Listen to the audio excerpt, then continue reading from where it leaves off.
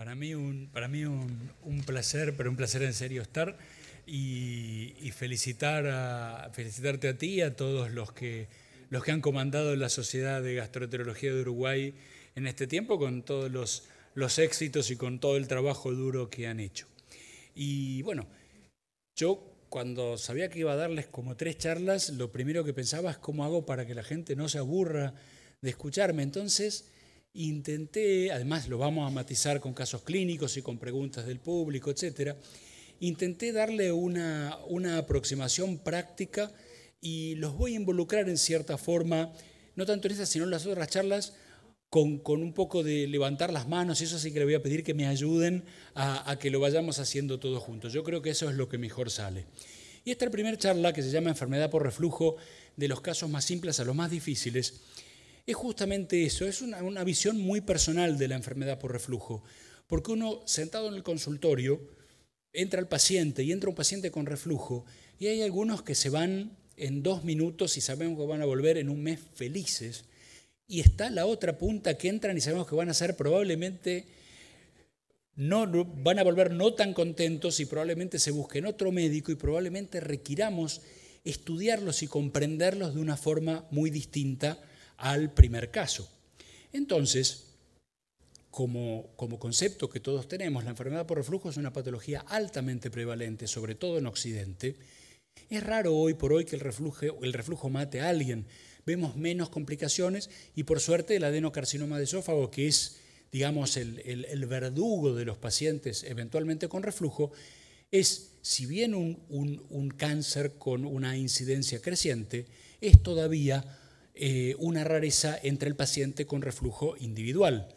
Y el otro tema importante es que entre el 10 y el 40% de los pacientes con reflujo no se encuentran totalmente satisfechos o están insatisfechos con el tratamiento que reciben.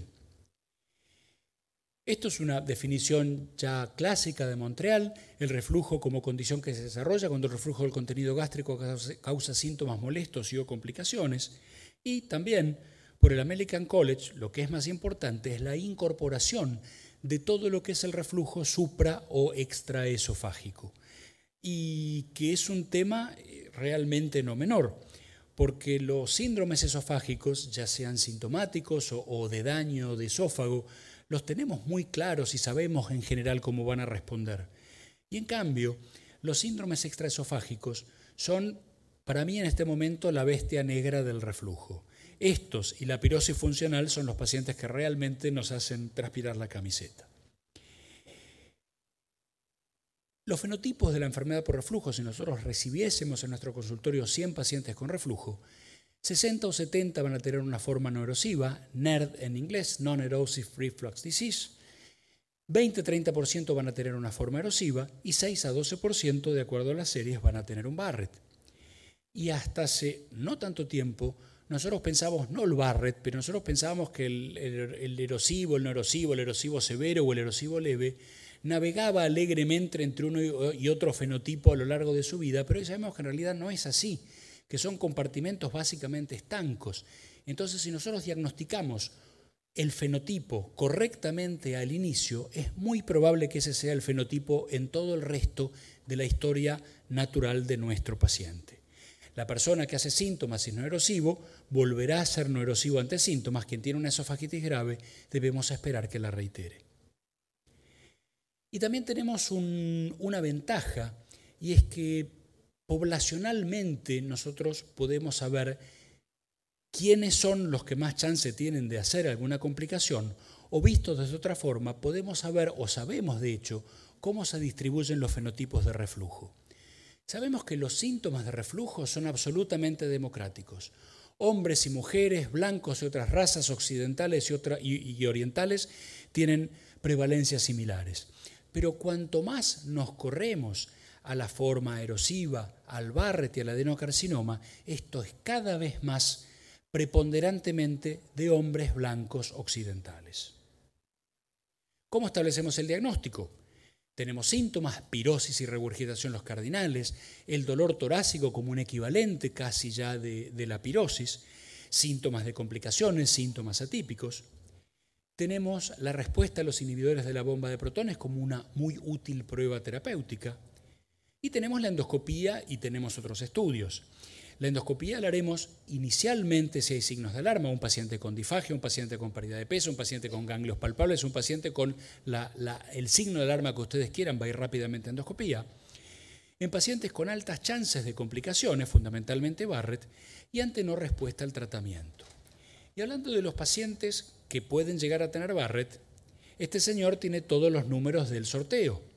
Este señor es un hombre con síntomas crónicos de reflujo, con síntomas frecuentes y severos, mayor de 50 años, de raza blanca, obeso central, tabaquista y, si le quieren agregar la cereza al postre, con algún familiar con Barrett o adenocarcinoma. El American College dice, ustedes deben endoscopiar a este paciente para saber si tiene Barrett, porque el resto en realidad es muy caro y no me sirve.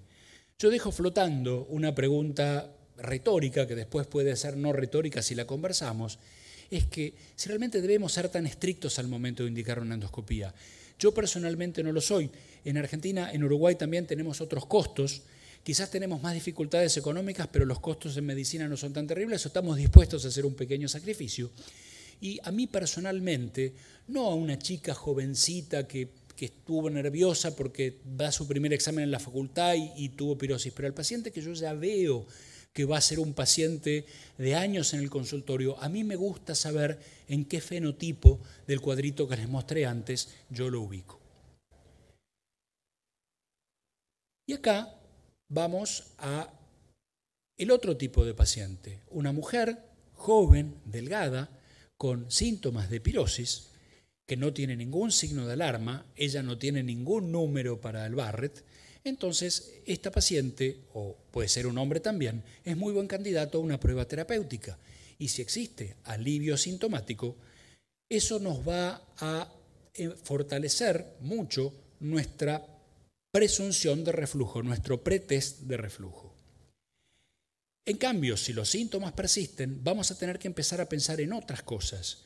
Vamos a tener que pensar yendo al revés de derecha a izquierda, en que el paciente no tenga, no tenga una enfermedad por reflujo, sino que tenga otra cosa, que sea refractario, entre comillas, al tratamiento o no comillas, o que tenga una pirosis funcional, que la sensorialidad visceral sea mucho más importante que el ácido. Por tanto, y esto es como yo planteé la charla, es la primera vez que la planteo así, un poco surgió hablando con, con Rosa de esto, yo me siento en el consultorio y digo, bueno, ¿quiénes son los pacientes que tienen altas probabilidades de responder a la inhibición ácida? Yo contento cuando. O sea, los pacientes fáciles de tratar. Este es un trabajo, este es un GAT de 2014, que es un artículo lindísimo para leer. Se llama Pasado, Presente y Futuro de la Enfermedad por Reflujo. El, autor de este trabajo es Buxtens, pero este, este gráfico originalmente es de Peter Carilas. Y es interesante porque muestra la eficacia de los inhibidores de bomba para tratar potenciales manifestaciones de reflujo y lo importante es que está hecho todo en trials clínicos aleatorizados contra placebo. Entonces no solo tenemos en la barra completa cuántos pacientes van a responder o qué porcentaje de pacientes van a responder, sino que tenemos la respuesta placebo y la ganancia terapéutica con inhibidores de la bomba de protones. Entonces, los pacientes con esofagitis y los pacientes, los pacientes con esofagitis endoscópica y los pacientes con pirosis y esofagitis responden muy bien a la medicación, tienen una importancia, ganancia por sobre placebo, lo mismo que los pacientes con dolor torácico con pHimetría positiva. El semáforo, el semáforo, amarillo empieza a aparecer en los, en los NERDs, en los no erosivos, donde ya vamos a llegar a ese punto y vamos a ver que la, la heterogeneidad de este grupo es lo que marca una respuesta irregular. Ya en naranja la regurgitación, la regurgitación adelanto que es un fenómeno mecánico y adelanto que yo soy muy de tratamiento médico, pero estos para mí son pacientes quirúrgicos. Y finalmente la bestia negra en rojo, los pacientes que nos traen muchas dificultades. Y esto está, esta misma idea está muy bellamente expresada o muy gráficamente expresada en número necesario a tratar. El número necesario a tratar es cuántos pacientes tenemos que tratar con un tratamiento determinado para que responda uno que no hubiera respondido al placebo. Esa es la definición de NNT. Y fíjense que la pirosis, la esofagitis, el dolor torácico no cardiogénico con pHimetría positiva, tienen NNT de alrededor de dos. Tengo que tratar a dos pacientes para que uno vuelva muy contento. Si voy a los NERD, tengo que tratar a cuatro para que uno vuelva contento. Si voy a los pacientes con predominante regurgitación, tengo que tratar a seis para que uno venga contento. Y si voy, por ejemplo, a los síntomas laringios, tengo que tratar a 80 para que uno vuelva contento. Y esa es la tortura de lo que llamo la catapulta otorrinolaringológica, que tienen la catapulta y los arrojan a gastro, por lo menos en Buenos Aires es así. Entonces, frente a este paciente, la segunda consulta, si el paciente no respondió, hay que ver por qué lado viene el asunto, hay que ver qué es lo que pudo haber causado esta no respuesta. Entonces, ¿qué falló? El control de la pirosis, de la regurgitación, tiene escapes nocturnos, tiene síntomas atípicos.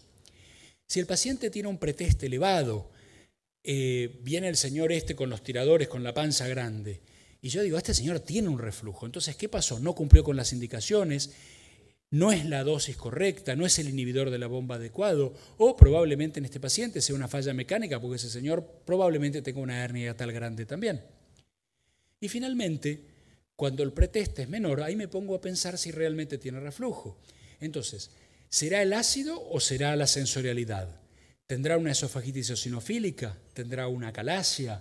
tendrá una superposición con una dispepsia o una gastroparesia, estará mal de la garganta no por reflujo, sino porque fuma, porque tuvo una infección de vías aéreas superiores, porque es maestra jardinera y le grita a los chicos todo el día, porque es alérgico, porque trabaja en una fábrica donde hay un tóxico ambiental que le irrita la garganta. Entonces esto es un poquitito el pensador, somos nosotros, cuando el paciente nos dice, mire doctor, también no me ha ido como usted pensaba que me iba a ir. ¿Quiénes son los pacientes un poquito más difíciles? Los pacientes que no dieran el tratamiento, tanto fármaco como modificación de estilo de vida, en realidad nosotros ahí tenemos cierta injerencia en explicarles bien de vuelta lo importante que es tal y cual cosa, y los pacientes llamados con tratamiento insuficiente, que acá podemos englobar distintas áreas. Entonces, mala adherencia barra tratamiento subóptimo. A muchos pacientes les molesta tomar la medicación de por vida y no todos los pacientes tienen que tomar la medicación de por vida. Un Barrett sí, una esofagitis severa probablemente también porque va a recidivar como tal y puede complicarse, pero probablemente una esofagitis leve o un NERD o síntomas más aislados no requieran de por vida. Lo que sí es importante con las drogas que hasta hoy tenemos es la ingesta de la medicación un rato antes del desayuno o de otra comida del día. Y esto tiene un porqué.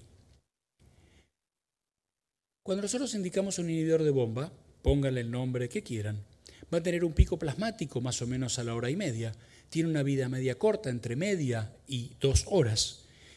Entonces va a tener un área bajo la curva, va a tener un tiempo de concentración útil. Y la célula parietal, para que el inhibidor de la bomba actúe, tiene que estar estimulada y los inhibidores tienen que perdón, pues la idea era esta, los inhibidores tienen que unirse covalentemente con la bomba activa. Si en cambio nosotros le damos el inhibidor a este paciente cuando no ha comido, cuando está totalmente en ayunas, esperen que estoy haciendo macanas. Esperen, ¿eh?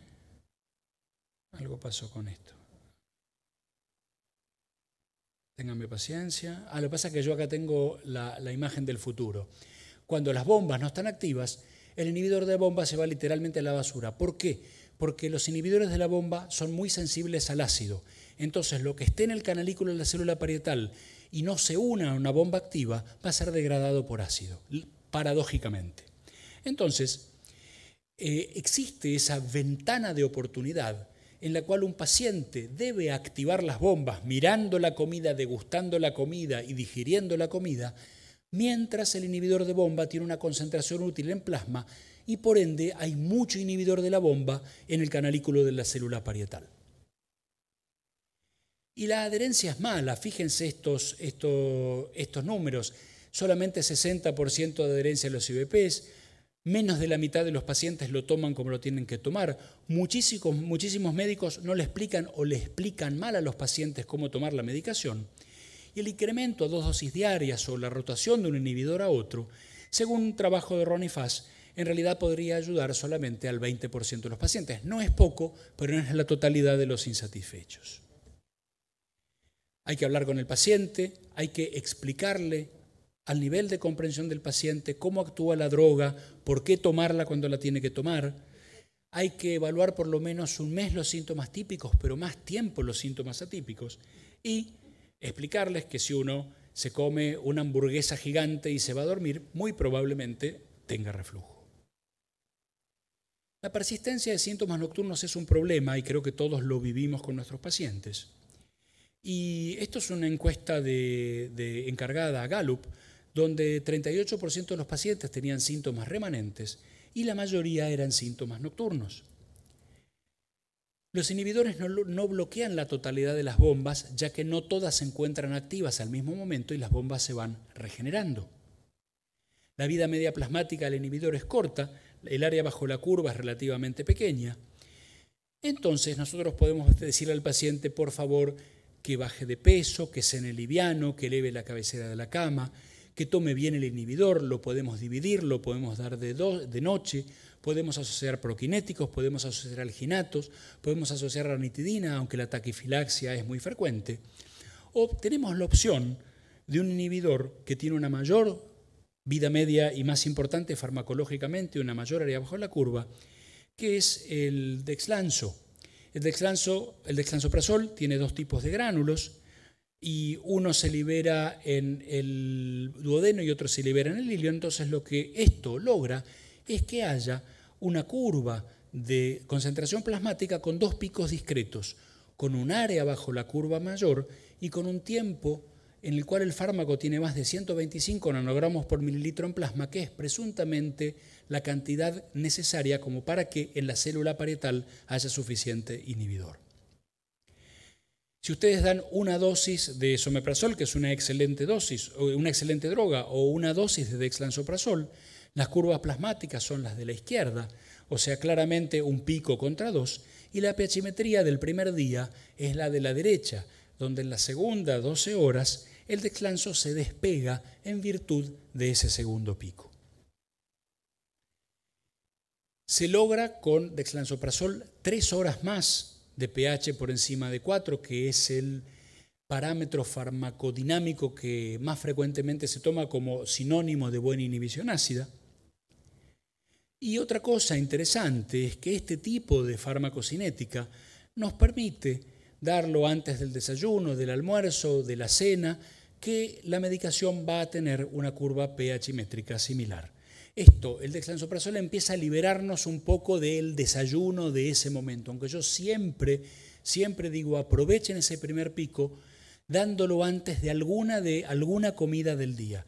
Porque si el paciente no come nada en las próximas cuatro horas, ese primer pico se desaprovecha. Acá hay un trabajo también de Ronnie Fass con pacientes con eh, enfermedad por reflujo sintomática, eh, con trastornos del sueño, son formas no erosivas y compara dexlanso contra placebo por cuatro semanas y obviamente la droga activa es más útil que el placebo, pero fíjense ustedes que cuanto más severos son los síntomas, más claramente se despega la droga activa del placebo, hasta que en el paciente con síntomas severos el placebo básicamente no tiene ningún efecto. Y otra cosa que les quiero mostrar de este gráfico es una cosa que yo aprendí leyendo algunos trabajos de Ronnie y escuchando a otros expertos, y es que no todo paciente con reflujo nocturno le va a decir, doctor, yo me despierto con pirosis. Los pacientes les cuesta dormirse, se despiertan durante la noche, les cuesta volver a dormirse, se despiertan antes del despertador y se despiertan cansados. Entonces, cuando yo tengo un paciente con reflujo, que presumo reflujo nocturno, le pregunto acerca de calidad de sueño. Obviamente, si es un señor que es prostático y va 15 veces a hacer pipí, bueno, eso es otro trastorno del sueño distinto. Otro tema que no tengo tiempo de ahondar, pero si después quieren charlar, encantado, es el temor a los efectos adversos. Y yo voy a decir en una frase que los inhibidores de la bomba de protones son realmente drogas muy seguras, que la gran mayoría de los efectos adversos que se le potencialmente atribuyen en realidad probablemente no tengan nada que ver con los inhibidores, pero que, como cualquier droga de nuestro vademecum, hay que darla solamente en los pacientes que la merecen, en la dosis mínima útil y por el mínimo tiempo necesario. Lo mismo que un AINE o lo mismo que cualquier otra medicación. Entonces yo les digo a los pacientes, no pongas cara fea porque no te va a pasar nada. Yo le digo, yo desde el año 95 lo tomo todos los días y mírame qué bien que estoy. ¿Qué hay de nuevo en farmacología? Porque en este caso estábamos hablando de algunas limitaciones de los inhibidores de bomba, de una media media corta, de una corta permanencia en el canalículo de la célula parietal si no están pegados a la bomba de protones, los síntomas nocturnos, las horas en las cuales el estómago escapa de la acción del inhibidor de bomba y sigue segregando ácido. Y ahora hay una familia nueva de drogas que son los pickups, los Potassium Competitive Acid Blockers, bloqueantes del ácido que compiten por el potasio. Eh, en este momento hay en mercado dos drogas, el bonoprazán, que es el paradigma, que es una droga que está en Japón, China, Corea, Tailandia, Filipinas y creo que Malasia, y hay uno que se llama Revaprazán, que es una droga que está en Corea, pero que probablemente no tenga futuro, porque la máxima dosificación de la droga no supera a los inhibidores de la bomba de protones. Pero por supuesto, como cuando hay una buena, una buena idea, hay varias drogas en la gatera. Los pickups, porque así se los conoce por el mundo, bloquean competitivamente la disponibilidad de potasio para la hidrogenión potasio ATPasa, o sea, la bomba de protones. Cuando no hay potasio, cuando el sitio de potasio está bloqueado, la bomba no actúa. Se traba como si ustedes pusieran un palo en un engranaje. El bonoprazán es una molécula estable en medio ácido, por lo tanto, no requiere ni comprimido, ni cápsula, ni nada gastroresistente. Y además esa estabilidad en el ácido los va a ayudar ya en el canalículo de la célula parietal. Se absorbe rápidamente con o sin comida en el estómago. Acá viene la absoluta liberación de las comidas. Tiene una vida media plasmática de 9 horas contra hora y media de un inhibidor de la bomba de protones. Les muestro, perdón, Acá estaba la... No tengo puntero, pero ustedes me van siguiendo de arriba para abajo. Uno es el, pickup es reversible, el, PPI, el inhibidor es, es reversible. El bonoprazán es ácido estable, tiene una vida media de 9 horas contra un máximo de 2. Tiene un pK muy alto, tiene un pK muy alcalino, por lo tanto tiene una enorme afinidad para acumularse en sitios ácidos. No es una prodroga, sino que es una droga activa no se metaboliza por 2C19, sino por 3,4A, entonces no hay metabolizadores lentos y rápidos. Bloquea bombas tanto activas como inactivas y se puede dar básicamente en cualquier momento. Y la otra cosa interesante es que con la primera dosis ustedes obtienen casi la totalidad, llegan al plató de acción con la primera dosis y no con la tercera o con la cuarta. Y acá yo les muestro bueno, les decía, el, PK de la droga promueve la acumulación en el, espacio canalicular de la célula parietal en una concentración 10 a la octava veces mayor que en plasma, 100 millones de veces más que en plasma. Inhibe en forma competitiva tanto las bombas activas como probablemente también, como se ve en ejemplos animales, en modelos animales, a las inactivas. Entonces, arriba está la célula parietal, que está en su fase quiescente eh, a la, abajo a la izquierda está la célula parietal activada y ustedes ven que hay algunos eh, inhibidores de la bomba de protones, esos medio coloraditos, que lograron pegarse a las bombas activas, pero el resto que está en el canalículo, el ácido las degrada. Si ustedes ven a la derecha, están en celestito los bonoprasanes unidos a las bombas activas, permaneciendo en el canalículo sin ser degradados y si ustedes ven las vesiculitas, van a ver que hay bombas inactivas en las vesículas, también ya inhibidas por el bonoprazán. Les decía, resistencia al ácido, alta afinidad y bajo clearance de las células parietales, lo que resulta en una acción más potente y prolongada. Y alcanza el efecto en la primera dosis. Acá tenemos el tiempo de pH intragástrico mayor a 4 con 10, 20 y 40 miligramos, la media dosis de bonoprazán le da un tiempo similar al inhibidor de la bomba de protones más potente. 20 miligramos superan el 80% y si ustedes dan 40, el paciente está básicamente todo el día con pH mayor a 4. Y eh, del otro lado, del lado derecho, está el tiempo de pH intragástrico mayor a 4 de noche. Entonces, fíjense ustedes cómo el tiempo de pH intragástrico con 10 miligramos, con un IBP es de más o menos 20%. Con el dexlanzo aumenta un poco.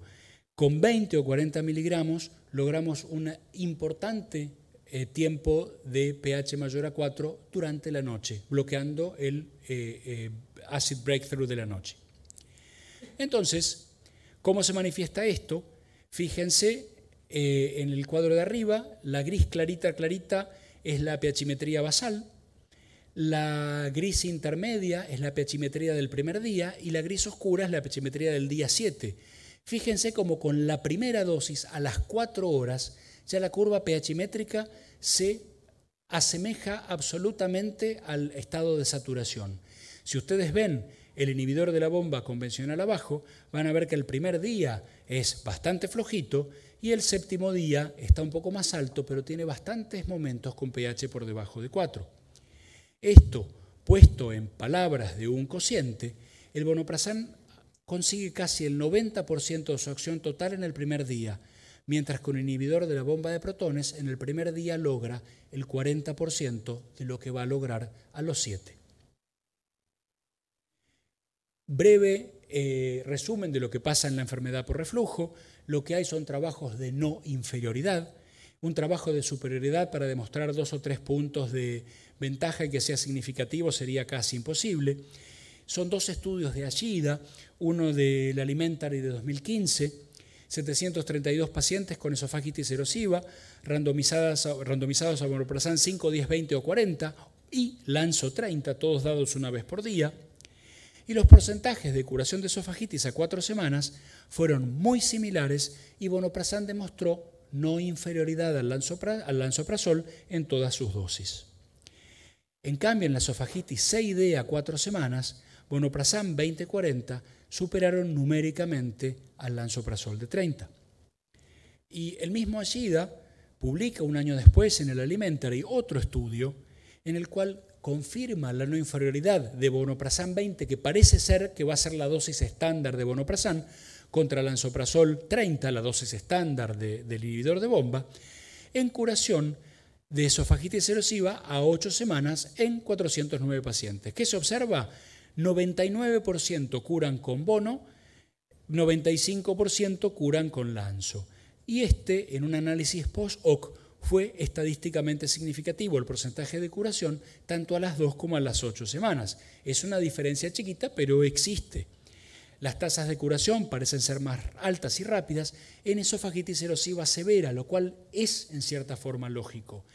¿En quién va a ser útil un remedio que inhiba muy potentemente el ácido en el paciente que tenga una patología absolutamente relacionada con el ácido y que sea importante inhibir cada gotita de ácido? Y eso ocurre en una esofagitis D, por ejemplo.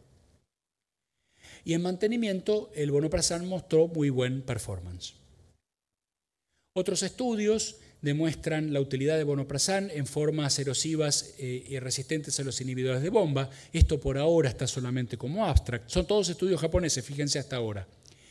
Y en pacientes no erosivos, pero con índice sintomático positivo, o sea, pacientes en quienes el ácido es importante, el bonoprazán tuvo mejor performance que el rabeprazol. Si ustedes fueran a una pirosis funcional que no tiene nada que ver con el ácido, le den lanzoprazol, rabeprazol, bonoprazán o agua bendita, es más o menos lo mismo. El agua bendita es más barata. Entonces yo sigo progresando con, con el grado de dificultad y voy a los pacientes un poco más difíciles. Y acá entramos a la pirosis funcional y volvemos a nuestro gráfico y volvemos a el, último recuadrito abajo a la izquierda. Y yo para explicar esto, me, probablemente todos lo saben, pero yo me voy a tomar un, momentito para, ubicarnos. Este es un artículo de Ronnie Fast también bastante viejo que, que a mí me gusta porque tiene un árbol de decisión. Ustedes parten arriba de pacientes con pirosis y pHimetría y endoscopía normal. Si ustedes lo someten a una pHimetría, más de la mitad va a tener una pHimetría anormal. Entonces, este le faltaron 5 centavos para el peso. Este paciente se va a portar muy parecido al paciente con una esofagitis grado A o B. En cambio, del otro lado del árbol de decisiones tenemos los pacientes con endoscopía normal y pHimetría normal, carga de ácido normal. Y acá hay algunos que pese a tener todo normal, hacen síntomas cuando sube ácido. Y eso es el esófago hipersensible. Y hay otros que no hacen síntomas, que ni siquiera se puede correlacionar el síntoma con un poquito de ácido, y esa es la pirosis funcional. Y hoy, Roma 4 los define casi exactamente como estamos diciendo. El esófago hipersensible va a tener pirosis o dolor, endoscopía normal, eh, no va a tener trastornos motores mayores, los síntomas van a ser gatillados por eventos de reflujo pese a estudios de monitoreo. Y ellos hablan de síntomas de reflujo y no de ácido porque usan pH impedancio, ¿no es cierto? Entonces ellos monitorean cualquier tipo de reflujo. Y si bien son pacientes difíciles, el esófago hipersensible no excluye que puedan responder al ácido. En cambio, la pirosis funcional no se relaciona con el ácido y no va a responder al ácido salvo por efecto, al inhibidor del ácido salvo por el efecto placebo. Y este cuadrito que a mí me parece muy lindo nos muestra cómo de una esofagitis erosiva severa, toda relacionada con el ácido, llegamos a la pirosis funcional que tiene que ver todo con la sensorialidad y nada con el ácido. Esto me parece un grafiquito como muy, como muy ilustrativo. Entonces, formas neurosivas, que casi fueron erosivas, que se acercan, isófago hipersensible, pirosis funcional. Es importante tener en cuenta todas estas entidades en pacientes con síntomas y endoscopía normal. Explican por qué nuestros pacientes se comportan tan distintos, por qué algunos responden y otros no responden. Y sabemos que los pacientes con esófago hipersensible tienen peor respuesta a los IBPs y los pacientes con pirosis funcional deberían tener ninguna por sobre placebo. ¿Qué nos quedan de los difíciles? El reflujo mecánico. Pacientes con hernias hiatales importantes, pacientes con esfínteres atónicos o hipotónicos severos, son pacientes que son como una botella de agua mineral. Usted le ponen la tapa, la cuestan y el agua sube y baja. Así sube y baja el contenido gástrico del paciente que tiene estas características. Encima la hernia tiene reflujo, tiene trastornos motores asociados por el reflujo, tienen las, las siete plagas de Egipto. Entonces, yo soy poco quirúrgico, pero para mí el paciente mecánico, lo llamo yo, de reflujo de volumen, es un paciente quirúrgico. Cuando nosotros repasamos lo que dice, por ejemplo, el up-to-date, eh, no adherencia al tratamiento, refractariedad al tratamiento, médico, gente que no quiere tomar IBPs, absolutamente derecho de los pacientes, el reflujo de volumen, el Barrett, y le pongo un signo de pregunta porque nadie demostró que al Barrett en sí, en su progresión, le vaya mejor con, con uno u otro tratamiento.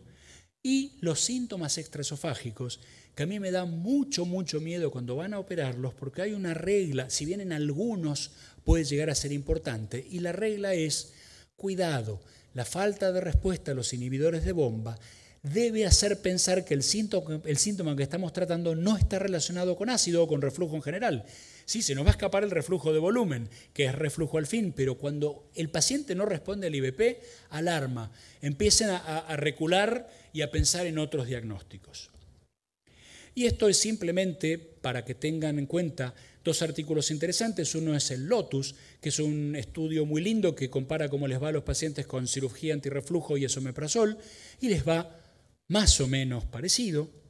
Y otro estudio, que es este estudio del, del, JAMA, que muestra qué es lo que pasa en el tiempo con la cirugía antirreflujo. Y muchos pacientes de entrada y muchos más con el tiempo, como todo tejido en el organismo cede y van precisando, van volviendo a tener síntomas y muchas veces a requerir inhibidores de la bomba de protones. Entonces a veces se dice, un chico de 16 años es ideal para hacerlo el antirreflujo y yo le digo, sí, porque tiene toda la vida por delante, pero también se le va a aflojar el antirreflujo en algún momento. Entonces, dedicado a Rosa, que me manda a estudiar, como pongo acá en la, en la diapositiva, pues yo estaba todo contento con mi charla, y Rosita me seguía el Steam, y esto y lo otro, entonces me mató y me tuve que ir a leer. Entonces, alternativas a la cirugía convencional, me pareció muy interesante y me vino bárbaro porque me puse a leer un poquito más de Lynx. Ustedes saben que Lynx es un anillo, es como una pulsera de mostacillas. Me hace acordar esas dematites que venden en Brasil. Son cuentas, son, ¿cómo se dice en castellano? Cuentas, ¿no es cierto? Sí, cuentas magnéticas. No es una pulsera que tiene todo un hilo alrededor, sino que cada cuenta está unida a la vecina por ese alambrecito de titanio.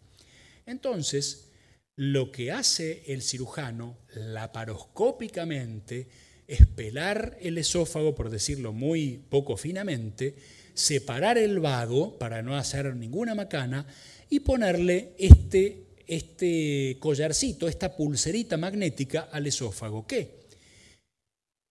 Ajustalo, eh, ¿cómo se llama? Eh, aprieta lo justo y cede lo necesario, como decía alguna publicidad de algo hace mucho tiempo.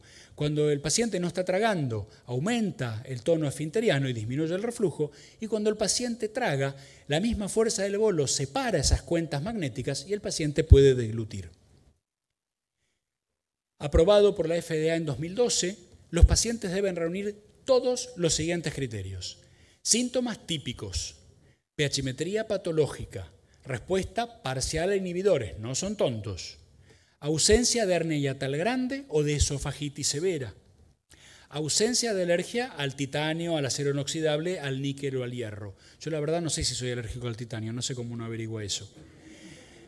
Y además hay que consultar antes de hacer una resonancia porque los links más modernos se llaman MR conditional. Uno los puede poner en campos de hasta 1,5 Tesla. No sé mucho yo de esto, pero hay que preguntarle al radiólogo. Y los viejos solamente aceptan 0,7 Tesla, porque si no, uno aparentemente puede hacer un desastre con el imán y las cuentas magnéticas. Aparentemente no, uno podría hacer un desastre. Entonces, un poquitito cómo le fue al Lynx. Long term, ¿qué es en el, el Lynx long term? Son 5 años. Entonces, 100 pacientes con reflujo, parcialmente responder inhibidor, piachimetría patológica, seguimiento mayor a 6 meses, 85 de ellos a 5 años. ¿Y qué es lo que se ve esto? Mejora la pirosis, la regurgitación, el uso de inhibidores y mejora mucho la o disminuye la dissatisfacción de los pacientes si esa palabra existe en castellano o es spanglish. Acá fíjense el uso de IBPs. Al año, o sea, todos usaban IBPs, al año usa 10% y a los 5 años hasta el 20-25% usando de vuelta IBPs, que es más o menos parecido a lo que pasa con un Nissen laparoscópico. En cuanto a la seguridad, eh, no se reportaron en este estudio erosiones por el dispositivo, ni tampoco migración o mal funcionamiento. Aquellos que trabajaban con banda gástrica y después se asustaron de encontrar la banda gástrica dentro del esófago o el estómago o lo que fuera, con los primeros links que tenían, era una pulserita más chiquita, hubo algunas erosiones, pero aparentemente desde, que está este con este número de cuentas magnéticas no ocurre más. Eh, el dispositivo debió ser removido en 7 de 100 pacientes, 4 por disfagia, 1 por reflujo persistente, 1 por dolor torácico persistente y otro por vómitos. Y este estudio, fíjense que compara links a ver, tienen pacientes que con una dosis simple de inhibidor tienen regurgitación moderada a severa. Ya les dije yo primero, este para mí es un paciente quirúrgico. Entonces, ¿qué prueban ellos? Los aleatorizan a duplicar la dosis de inhibidor o ponerle un links. Y miren qué lindo el abstract gráfico. Dígame si no es la síntesis absoluta. Los pacientes de la derecha con, esperen cuál es, con el, con el links, los, en la parte azul del gráfico son todos los que mejoran enormemente la regurgitación. Los pacientes con inhibidor de bomba, la parte bordó del gráfico, son los pacientes que siguen estando pésimos del reflujo. Es muy, eh, muy gráfico el gráfico. Entonces, 152 pacientes se, se, se llama? se aleatorizan a estos dos tratamientos los pacientes entonces no debían tener más de 35 de BMI, pechimetría patológica, motilidad esofágica normal, no hernias grandes, no Barrett, no esofagitis severa, y los evaluaron a los seis meses. Y lo que se ve, el links en azul, en bellecito el pasaje a doble dosis, como mejoraron la regurgitación, mejoraron los scores sintomáticos, mejoraron la calidad de vida.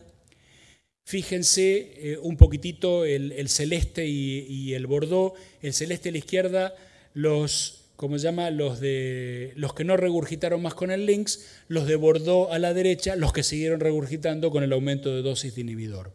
Y por supuesto, una mejoría de la pechimetría. En cuanto a la seguridad, eh, algunos pacientes tienen disfagia, lo mismo que pasa con la operación. La mayoría de estas disfagias son tolerables y mejoran con el tiempo. Eh, de estos pacientes, uno requirió una reparación de una hernia de hiato generada por un episodio de vómitos muy importante. Y lo que nos queda, la, la gran pregunta, porque yo hablaba con los cirujanos y digo, ¿cuánto más fácil es un LINX que una fundoplicatura de Nissen? Y el cirujano canchero te hace una fundoplicatura en una hora. O sea, yo no sé cuánto gana con el links. Muchas obras sociales no van a reconocerlo, o sea, va a tener un costo, pero no deja de ser tentador eh, lo que estamos escuchando. Y en los metaanálisis disponibles muestran que el control de los síntomas de reflujo fue similar con ambos procedimientos en el corto y en el largo plazo. Y los pacientes con links eructaban mejor y podían vomitar si era necesario mejor que los pacientes con Nissen. Pero la gran duda es qué va a pasar en 10 o 20 años, porque todo lo que sabemos es a 5. Entonces los cirujanos te dicen, qué sé yo, en 10 me aparece dentro del esófago o me aparece flotando por el peritoneo. No creo que pase porque esa cuenta probablemente sobreviva a, digamos, a, la guerra atómica también, pero es un tema a tener en cuenta. Y finalmente, ahora sí, en honor a Rosita, el endostim. El endostim es un marcapasos que da pulsos eléctricos en forma regular y regulable, laparoscópicamente se pela la grasita del esófago, se insertan y se fijan estos catetercitos y se pone abajo de la piel, cual marcapasos, el estimulador. Hay muy poca evidencia, muy poco tiempo y la mayoría son abstracts. Está propuesto también para pacientes parecidos, con IBP no satisfechos del todo, no formas severas, no hernias grandes, peachimetría patológica. Y lo más interesante quizás es pensarlo en pacientes que le hicieron una manga gástrica y ya el, cirujano no le puede hacer una fundoplicatura. La única alternativa si no responde al IOP es convertirlo en un bypass gástrico. Entonces esto creo yo que es de lo más interesante que aparece. Y con respecto a los datos, Miren lo que les voy a mostrar. 15 pacientes a 3 años. Y sí, mejoró la exposición del esófago distal al ácido en 15 pacientes, atenti 15 pacientes. Eh, tiene mejoría sostenida de los síntomas y toman no cero, pero toman menos inhibidores de bomba. En lugar de tomar inhibidores de la bomba todos, toman inhibidores de la bomba el 45% de los pacientes. Probablemente menos dosis, pero casi la mitad toman inhibidores.